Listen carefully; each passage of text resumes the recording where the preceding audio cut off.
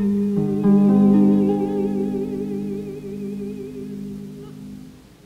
I have been the cantor of Temple Emanu-El of San Francisco for the past 25 years. It's my 25th year now. The congregation is uh, over 150 years old. It was established in 1849. It was a classical reform congregation. Most Jews around the world, however, in other places, except Israel, where they're very secular actually, except for the Orthodox, um, most Jews are Orthodox Jews. Part of the joy is that Singing, while it's very, very important in the role of a cantor, is not the, the uh, primary role anymore of most cantors because we sing once a week or twice a week, but really we're teachers and we're pastors. Very often I will perform a wedding where the rabbi is the chief officiant and I am the, uh, the cantor who sings the liturgy. I also perform a wedding solo as the chief officiant. The ceremony can take place anywhere as long as there's a chuppah,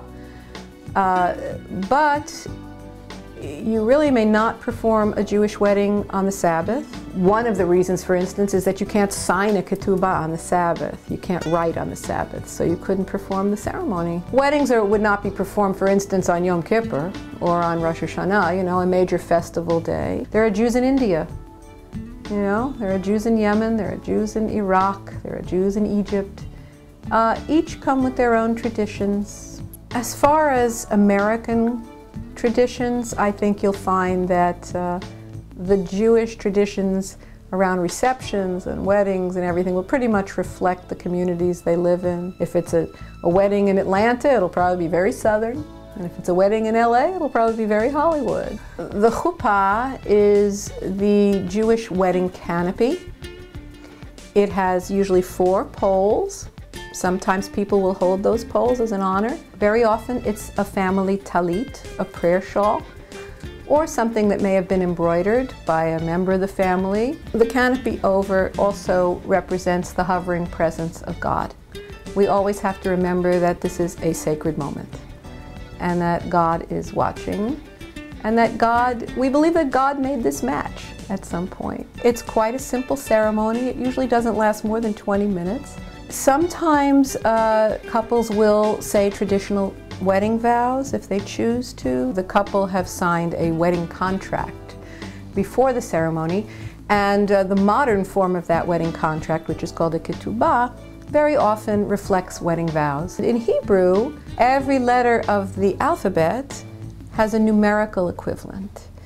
And the number 30 is the letter Lamed, and the number 2 is the letter Bet. And when you put those two letters together, they spell Lev, which means heart. So it's a beautiful thing that the formula adds up to the word for heart. And so the, the ring is placed on the index finger, which goes straight to the heart before it's changed over to the ring finger. And the main liturgy is a set of seven blessings known as the Sheva Brachot.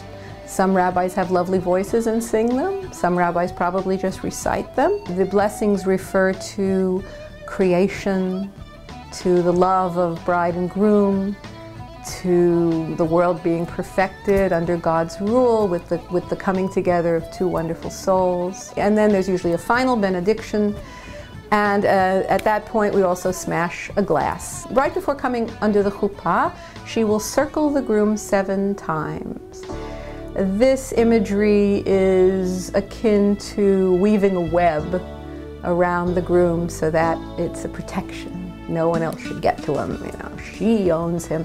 And uh, nowadays, though, with all this egalitarianism, we'll very often see Uh, the bride do three circles, the groom do three circles, and then they'll circle each other. The issue of interfaith marriages has been a hot button in the Jewish community for many, many years. Post-Holocaust, with the loss of six million Jews, this was a really, really difficult and painful issue for many Jewish families. I make it a point to adjust the liturgy of the seven wedding blessings a bit and of the ring ceremony. I use a different formula. Very often, um, the non-Jewish partner will seek conversion. We've had quite a lot of success with that and might redo the ceremony, you know, with all the liturgy intact.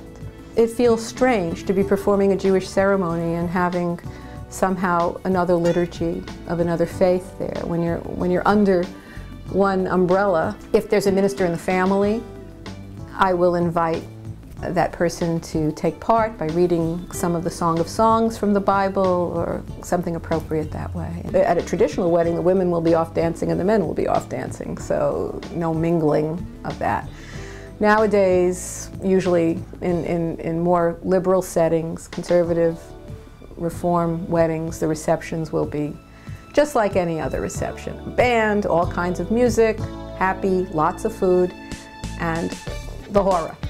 Dancing the hora, doing the chairs, that's sort of, you gotta do that. That's de rigueur, as they say.